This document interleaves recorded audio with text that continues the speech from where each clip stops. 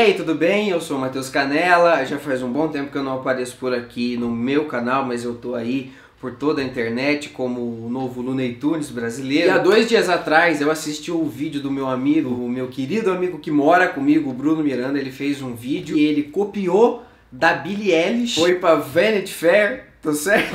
Ou seja, eu vi algo que o Bruno copiou da Billie Eilish, fez pra Vanity Fair e pensei, tá aí, garoto de 16 anos que mora em mim, quer muito fazer isso. Que eu sempre adorei, sabe aquele, aqueles vídeos de criança que o pai começa a documentar a fotinho dela bebê até ela adulta? Aí a carinha assim, que, que, que, e vai crescendo, dentinho, o peito vai ficando gordinho. Eu comprei um caderninho aqui que eu batizei de caderninho do Canela, eu assisti o vídeo e eu anotei aqui todas as perguntas que o Bruno copiou da Billie Eilish. São as mesmas perguntas. Eu adorei, eu quero muito responder elas. Eu quero fazer isso todo ano. Então vai ser um ritual até eu morrer, eu espero. Todo ano eu quero aparecer aqui e contar o que, que mudou na minha vida. Que dia é hoje e o ano? Hoje é dia 28 de dezembro de 2019. Agora são 19 horas e 52 minutos. E aqui tá a Billie Provar que eu gosto muito dela. Quantos anos você tem? 23 anos. Muito bem vividos, Bial. Tô fazendo DP de Educação Física, mas em 6 anos a gente termina. São dois anos. Quantos seguidores você tem? Hum, esse eu não vi. Tem que ver ao vivo aqui. No Instagram eu tenho 329 mil seguidores. 330 mil seguidores? Opa! No meu Twitter eu tenho 172.419 seguidores no Twitter. No meu YouTube, 873 mil inscritos. Facebook, ninguém se importa. A foto mais curtida do Instagram, eu acho que é a que eu tô gostosa na praia. Eu falei do meu corpo, que eu não quero ter medo dele, que eu quero ser uma gostosa em paz. Tem 82 mil e 50 likes essa foto. O vídeo do ano com mais views. Esses três vídeos vai ser fácil de descobrir. Falei agora, é, igual galera, nem sei como é que porra é essa. Ó, tive dois hits no começo do ano e depois só desabei! Minha carreira está nas ruínas! O meu vídeo com mais views foi. Eu fui banido do WhatsApp. Eu achei que fosse mesmo. As pessoas falam muito disso. Vamos revelar aquilo, Sim. Bruno? Que você também foi Pô. banido do WhatsApp no mesmo dia que eu. O número do Bruno também caiu um raio na nossa casa que nós dois fomos banidos. Eu cheguei, eu cheguei numa festa pra mim. tipo, e era eu celebrando essa vitória única. O seu vídeo favorito do ano, eu adorei fazer o do Rabo Hotel, eu acho. Eu acho que eu engravidei do Rabo Hotel, mas na verdade eu engravidei do diabo. Que eu sentei sem querer num pentagrama desenhado na rua, né, Bruno? Já pensei por isso. Quais os projetos mais legais que você participou? Com certeza tá sendo coisa nossa agora. O canal do Guaraná Antártica, o melhor refrigerante do mundo, né, Bruno? É isso aí, como refresca. Como refresca! O canal do Guaraná, eu já falei isso algumas vezes em alguns lugares, mas é o canal de marca mais famoso do Brasil. Isso me deixa muito feliz, porque eu virei, querendo ou não, o Pikachu, né? Lá do Coisa Nossa. Ah, também já fiz outras coisas legais esse ano. Fiz uma, uma ponta na série do Castanhari, que vai no ar na Netflix ano que vem. Já fiz a série do Porta dos Fundos, que ninguém assistiu, ninguém ligou, mas eu amei fazer. Fui na TV, eu fui no SBT, a gente foi. Eu fui no The Noite, foi muito legal. Eu fui no Ronivon também. Eu fui pra Amazônia! Eu nadei com um boto, eu vi índio de sunga. Só uns colchão gostosos, índio. é muito uma música da Elis Regina, né? Eu viajei com um boto, eu dormi de sunga. Pior que é verdade, muito. Maior coisa que aconteceu na sua carreira. Cara, tá acontecendo agora. Eu virei o garoto propaganda de um importante refrigerante, né? Eu virei, Bruno. Não, não, foi, foi a sua dicção, mas você estava apresentando um trabalho de escola de um importante refrigerante. Faz um. Faz um SMR. Vem aqui pertinho e faz ó. A vovó preparou um nhoque pra você. Nojo! Eu nunca mais vou comer nhoque, eu nunca comi nhoque. Eu tenho paladar infantil!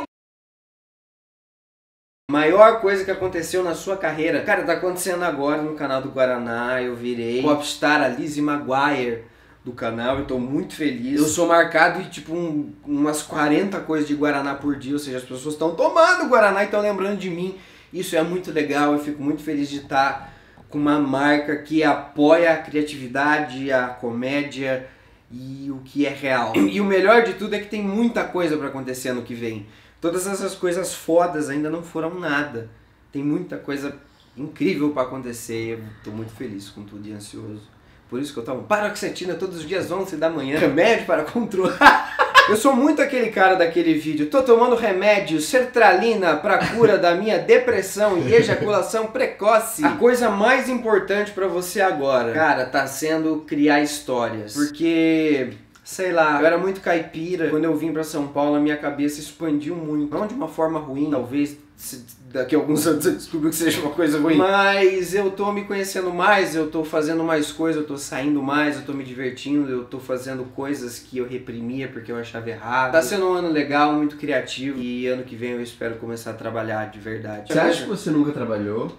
Não, claro que eu sim, já trabalhei. Trabalha há muito tempo. Só que é só uma piada do tipo, eu quero pegar firme de verdade de uma tá. forma que eu ainda não peguei. Yes, man. Que yes. eu sempre prometi pra mim, mas ano que vem vai rolar pra caralho! Coisa mais importante para você agora, eu anotei uma piada aqui, tipo, piada do Gugu vivo e que o Alvin e os esquilos usassem calça. Cara, eu queria muito que o Gugu tivesse vivo. Eu queria que o filme Vingadores, na verdade, retratasse o Capitão América indo pra Orlando e falando, Gugu Liberato, não arrume esse ar-condicionado e mudar a história. Nessa história, a Mona Assassina não teria morrido na montanha, Tim Maia ter virado evangélico e a Anitta ia ser conhecida na época do balão mágico. Quando ela crescesse, ela ia ser uma Ninguém, igual a Mara Maravilha.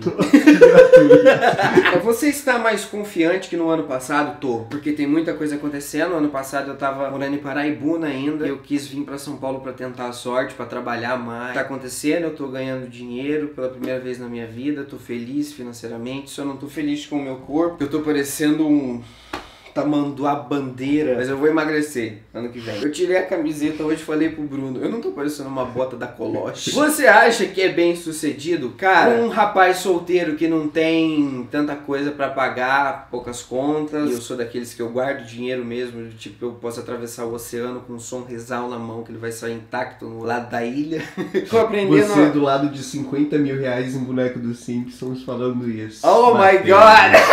all busted. Gastei dinheiro mesmo, porque quando eu era pequeno eu ficava no Mercado Livre o tempo todo vendo esses bonecos dos Simpsons, a coleção de bonecos, falando, puta que pariu, como eu queria ter esses bonecos. Eu fui numa loja, eu fui garimpando alguns que eu gostava mais e eu comprei, eu comprei todos esses. O Bruno Mota, aquele filha da puta, ele veio aqui, ele derrubou o óculos do Ned Flanders e até agora eu não encontrei.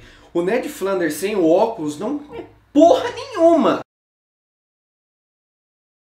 É, acho que sim, acho que tenho ainda mais a crescer financeiramente, em questão de tudo. Eu fico pensando, será que um dia eu vou ser um novo Danilo Gentili, um Fábio Porchat? Será que eu vou ser aquele cara que imitava o Gugu no Pânico, sabe? O Glu. Eu não quero ser esse cara. Eu quero ser um Danilo, eu quero ser um Fábio, eu quero ser uma Tata Werneck. Mentira, eu quero ser a Calabresa. A Calabresa é minha melhor amiga. Com que frequência você é reconhecido em público? Quando eu vejo que a molecada tá com um uniforme de escola, tipo Colégio São Roque, eu fico, puta que pariu. Porque não que eu não goste de ser visto, é que eu tenho medo que as pessoas gritem quando me veem, porque eu não gosto que gritem. Se me reconheceu, pode me parar a falar comigo, só não grita. Mas acontece bastante em shopping. Bastante pessoas em shopping têm me reconhecido agora. O que está na mídia agora? O Faustão tá tendo um ding dong especial, né? Que foi a Ivete Sangalo, o, o Tom Jobim. Quem foi? Milton Nascimento. Milton Nascimento, Tom Jobim morreu já. Mas ia ser foda, imagina. Os ossos do Tom Jobim. Ah, o que mais que tá na mídia de político? O Bolsonaro deve ter feito alguma. deve ter falado alguma bosta. Você namora? Not at the moment. But tô preso no amor, né? Todos nós estamos. E é bom tá preso no amor. O pior momento do ano. Cara, esse ano nenhum parente meu morreu pelo menos nenhum parente muito próximo, acredito. Eu me mudei pra cá e eu fiquei com muita saudade da minha família, dos meus amigos. Eu fiquei bem triste no começo quando eu vim pra cá. Que eu sentia falta deles, assim, dos meus gatos. Hoje eu não ligo mais para nenhum integrante da minha família. Só gosto de samba e comer cu. Qual o seu filme favorito? Eu adoro falar que é o. Eu adoro falar Scott que é. Pilgrim. Eu amo Scott Pilgrim mais do que o, que o Forrest Gump. É que eu falo Forrest Gump pra pessoa falar, ah, é um filme bom mesmo, com Tom Hanks, é um filme cool. Só que eu acho que de fato o meu filme preferido é Toy Story. 3. Eu gosto mais do 3 do que de todos. Eu cresci com o Toy Story e eu me via no Andy. E eu queria ser o Andy. Só que eu era um Andy que não abandonou os bonecos. Eu peguei meus bonecos, fiz um canal no YouTube e hoje eu sou a Val Marchiori. Ai, gostoso! Qual o lugar mais legal que você visitou? Eu costumo fazer a piada que é o Beto Carreiro. Quando eu fui, o Beto Carreiro tava vivo ainda. O Beto Carreiro empinou o Faísca na minha frente. E hoje em dia não dá mais, porque o Faísca provavelmente tá para ser abatido e o Beto Carreiro morreu. É triste, mas a vida é assim. O macaco que o Beto Carreiro tinha provavelmente morreu também, lembra? Era um lindo macaco que ele levava nele. Mas foi o Amazonas. Eu conheci Maués, a ilha onde se planta um guaraná. Eu fui jurado do Miss Guaraná, eu nadei com boto. Botos são horríveis. Botos são animais horríveis, parecem golfinhos com metanfetamina, os dentes deles são podres, de craqueiro mesmo. Qual sua cor favorita? É preto. Eu sempre ando de preto para disfarçar meu, meu, minha teta de cadela prenha enorme. E é com preto que você faz tudo, a linha das coisas. Seria a turma da Mônica se não tivesse a cor preta. Conselho você daria para você há um ano, para falar com o meu eu de um ano atrás? É o de um ano atrás. Eu falaria pro meu eu de um ano atrás, continua. Vai firme, vai para São Paulo, vai dar certo, você vai ser feliz. Onde você gostaria de estar daqui a alguns anos? Eu espero já ter o meu apartamento, a minha casa. Eu quero ter uma 안녕 puta casa. Eu não queria ter um, tipo, ter uma grana 300 pau, que é uma grana do cacete já, para comprar um AP pequeno e morar net do caralho. Não, eu quero morar na Orlando brasileira, assim. Quero que a Larissa Manoela venha visitar o Brasil pra ir na minha casa. Pessoa mais famosa que você já conheceu foi o Pedro Bial, eu acho. Eu fui com a Dani Calabresa, ela me chamou pra ir no Conversa com o Bial e eu vi o Bial. E nossa, eu preciso muito contar isso do Bial. O Bial é muito legal. Bial, o programa do Bial tinha tudo para ser mais legal porque o Bial é engraçado. Deixa eu te contar. Parece muito um programa da Regina Casé, né? Deixa eu te contar com Regina Casé. Essa quinta-feira, no Multishow. Bial entrou dançando, entrou dançando muito assim, pou, pou, pou. Aí ele ia falar sobre o Léo Jaime, só que ele tava muito ofegante. Ele começou. Ele começou a carreira já faz 40. Puta que pariu!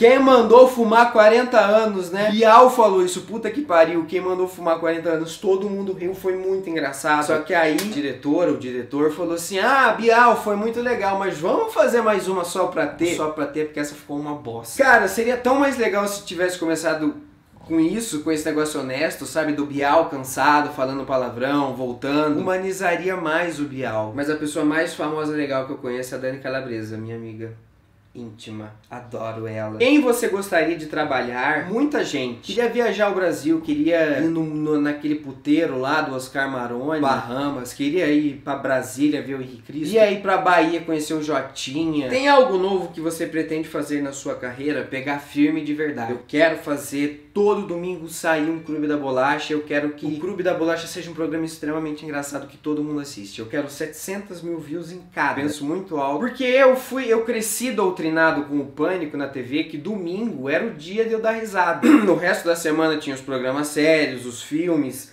as novelas, mas domingo era o dia da palhaçada, o dia de ver merda na TV. Mas eu quero fazer o Clube da Bolacha ser a nova alegria do domingo, assim, que você fala, puta, vou rir. Hoje tem Clube da Bolacha pra eu ver, cagando. O Clube da Bolacha vai ser foda, eu vou me dedicar 100% a ele durante 3 a 4 meses, pelo menos. Vai ser só o Clube da Bolacha. Ah, eu coloquei entre aspas aqui uma frase que eu, que eu pensei eu até achei boa. Será que é boa? Eu lendo agora. O livro é o gibi pra gente chata. Qualquer tirinha do Peninha que você lê daria um filme melhor que Harry Potter que veio de um livro. Seu maior problema hoje, infelizmente eu não aceito muito meu corpo. E na internet as pessoas falam muito como você engordou. E eu engordei mesmo. E eu quero melhorar meu horário, dormir nos horários certos. O que você gostaria de dizer para si mesmo em um ano? No futuro eu espero muito que você tenha conseguido fazer o Clube da Bolacha ser um sucesso dos domingos. Você tenha ganhado muito dinheiro, que a parceria com o Guaraná continue porque é o canal mais legal do mundo, eu amo fazer. espero que você esteja bem, que você esteja feliz. Se você ainda estiver morando com o Bruno, que seja muito legal, que vocês se dão muito bem. A gente não transa, a gente só é amigo, a gente nunca nem beijou a boca um do outro, né, Bruno? Analisa aí, metaforando. Vamos ver se Bom, eu acho que é assim que eu quero terminar esse vídeo. Eu espero que tenha sido legal, que vocês tenham gostado. Olha só, eu quero mostrar pra vocês como eu sou o Walt Disney brasileiro. Sobre o Clube da Bolacha, eu tô aqui, ó, psh, ó, Uou, eu tô escrevendo muitas ideias, vai ser, vai ser animal. É isso, muito obrigado. Eu espero ano que vem poder fazer esse vídeo de novo, se eu não tiver do tamanho do professor Aloprado. E é isso, eu espero que todos tenham um ano ótimo. Esse ano foi um ano difícil pro Brasil, pessoas muito ignorantes no poder, pessoas também muito ignorantes que não estão no poder, mas querem voltar. Eu tô me sentindo Kiko. Tipo, Eu quero que todos sejam muito felizes. Eu viajar ano que vem também. Valeu! Tchau, foi muito legal. Eu amei. Você não, não ter roteiro.